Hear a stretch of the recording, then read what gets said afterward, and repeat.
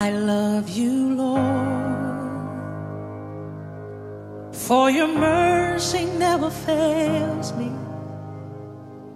All my days I've been held